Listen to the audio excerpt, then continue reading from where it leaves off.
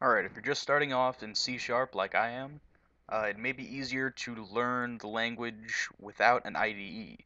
So you'll want an efficient way of compiling. Here is the most efficient way to compile in the command prompt. Just typing csc uh, test app.cs and that compiles. And you see this is my little hello world. Uh, to configure the run path so that you can just type CSC, uh, you're going to want to go to Start, right click on Computer, go to Properties, Advanced System Settings, Environmental Variables. Uh, in System Variables, scroll down to Path, edit the path, and type in or copy in this.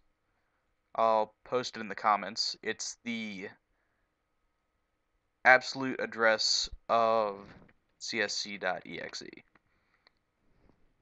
Um, be sure you don't uh, delete everything in the variable value. All you want to do is add this to the end, not replace it. Okay, and then you just hit OK, OK, OK, and that should work.